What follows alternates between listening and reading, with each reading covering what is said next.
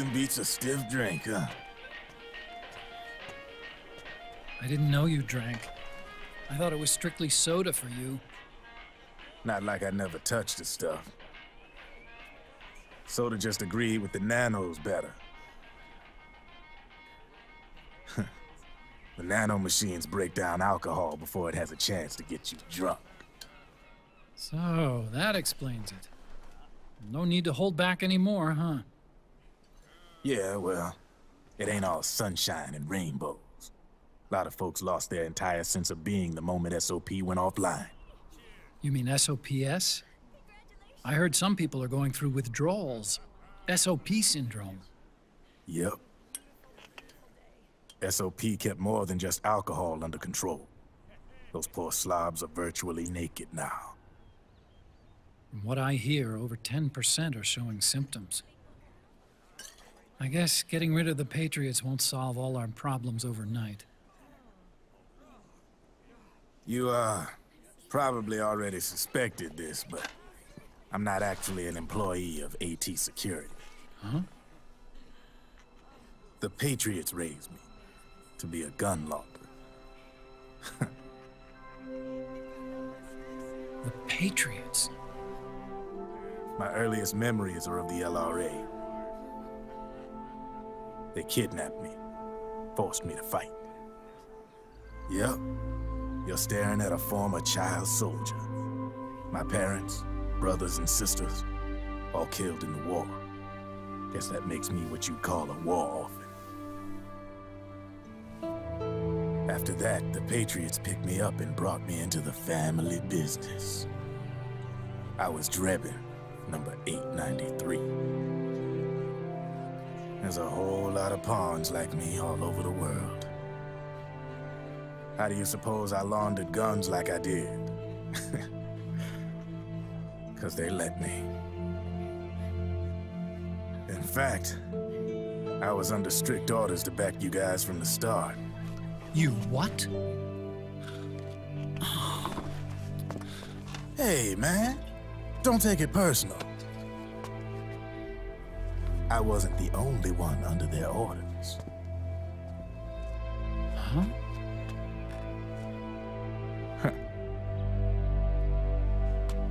Meryl and... They probably never realized it themselves, but... Rat Patrol, Team Zero One.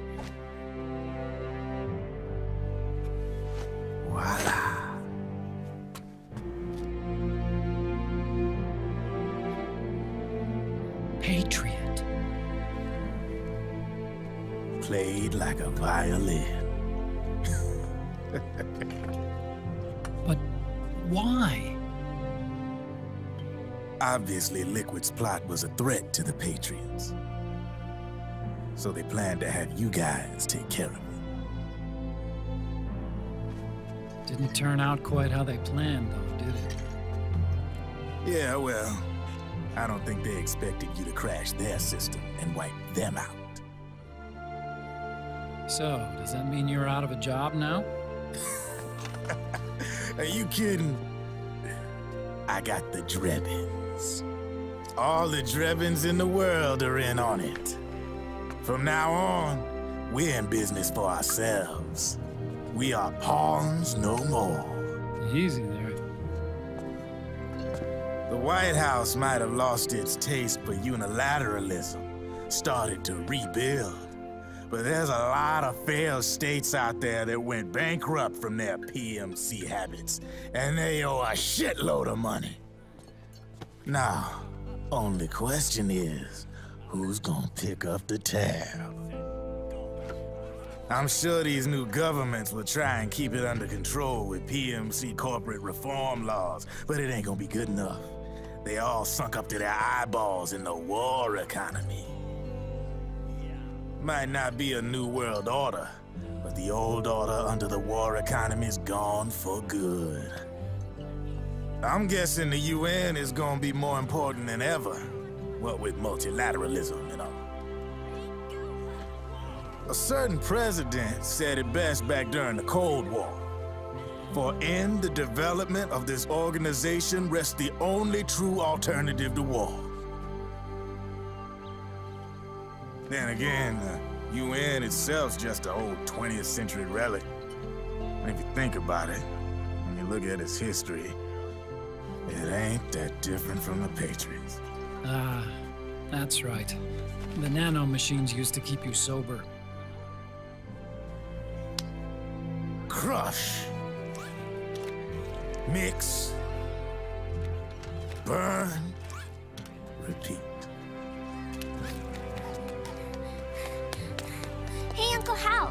I give him the Mark III? Huh? He's kinda a new friend.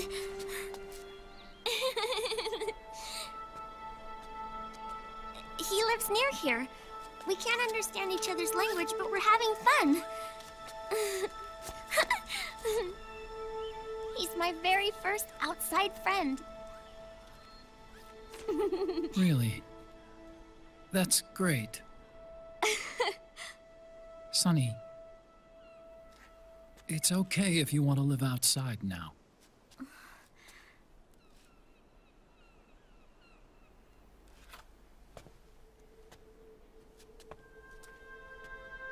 It's your life. There are other havens out there.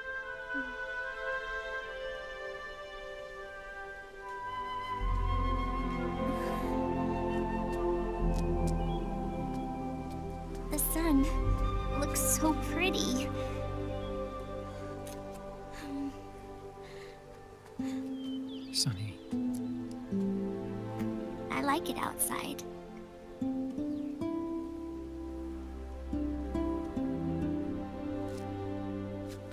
Uncle Hal, when is Snake coming back?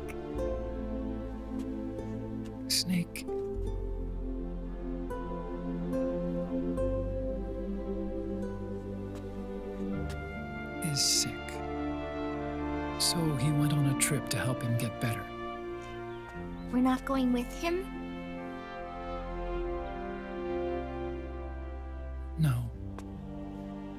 He needs to be alone. I wonder if I'll ever see him again.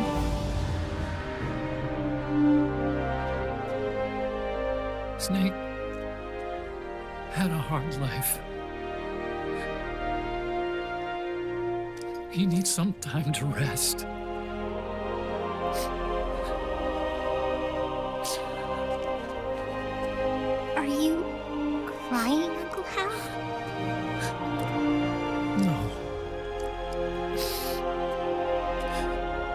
Not crying.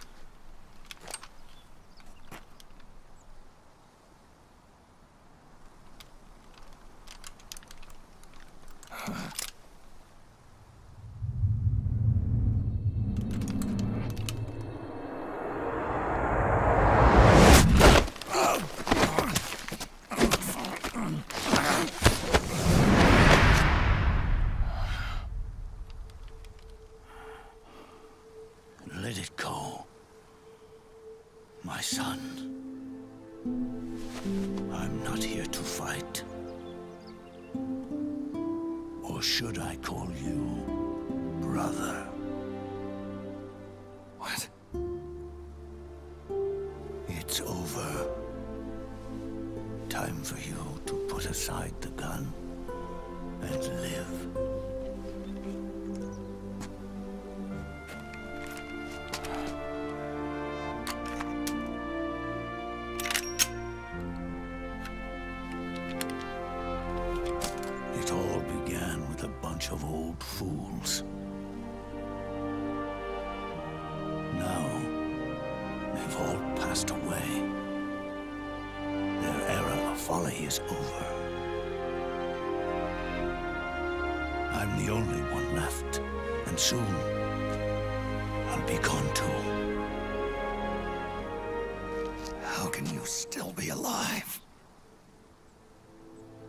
Body, liquid burned on the Volta, wasn't mine. That was the body of a clone. Solidus.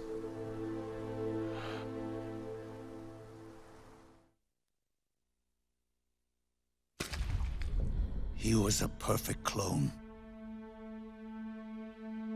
Zero and the proxy AIs that came after him were convinced that Solidus was me.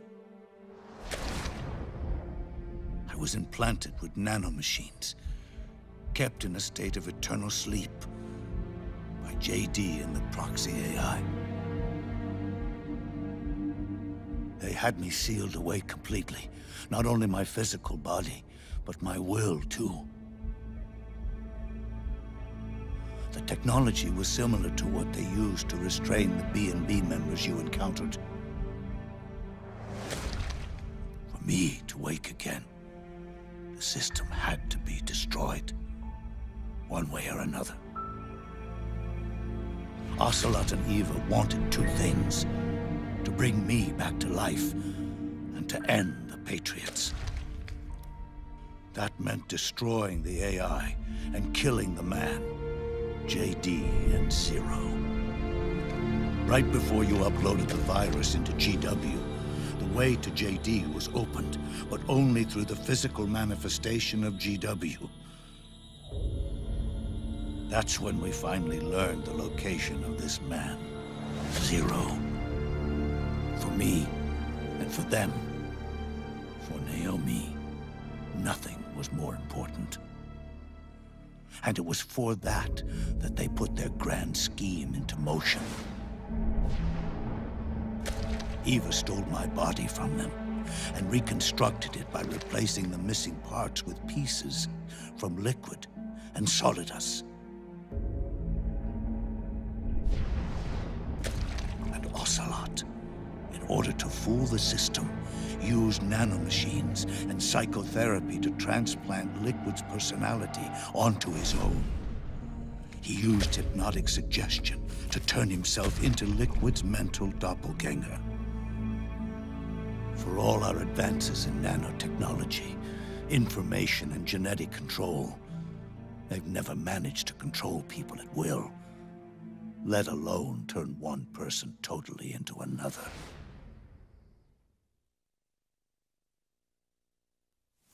Under certain conditions, someone can be made to play a specific role. Act like someone else. Cats do love to play as snakes. It all started with him. Zero. Zero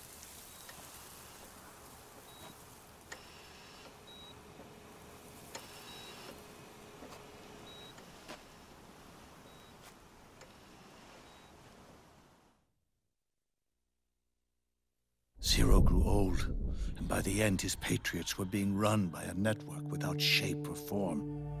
What do you mean, without shape or form? The proxies were only one small part of the vast cycle that Zero created.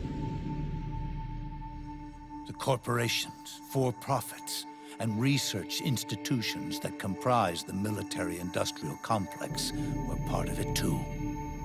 They operated on budgets automatically allotted to them by the proxies. Accounts maintained by the Patriots. The network covered everything from weapons R&D and investment to production and marketing. It encompassed the people, the companies, even the laws that protect them. Politics and economics became nothing more than iterations of the same oppressively uniform system. Think anyone realized that it was all a setup, a mere set of norms. The Patriots were those norms, a neural network reduced to its simplest form. That's what they really represented. Uniformity without individual will, without change.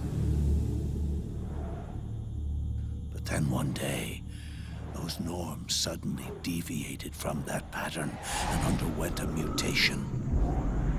It was like the birth of a new life form. The system found a new way to propagate itself. War The norms the Patriots had crafted for their unified state quickly became dependent on a single business, the war economy. Meanwhile, the political cause of creating a cleaner, safer battlefield provided a convenient catalyst. By then, the system was no longer being steered by Zero's will, or anyone else's. It was then that the norms, manifested as AIs, the inheritors of Zero's will, began to reproduce and take on a life of their own. Zero's original intent was to carry on the boss's will and establish a unified world state, an inside world. But his successors failed to carry on his will. Eventually, JD became the very age itself propagating its will as it pleased. And this age chose to act through economics instead of nation-states. Powered by the industrial and digital revolutions that came before it, this age gave birth to a twisted economic revolution, a battlefield revolution. It created a new world without substance. In this new world, there were no ideologies, no principles, no ideals, not even the thing she treasured most, loyalty. There was only the war economy. It was a colossal error in judgment, one Zero couldn't possibly have foreseen.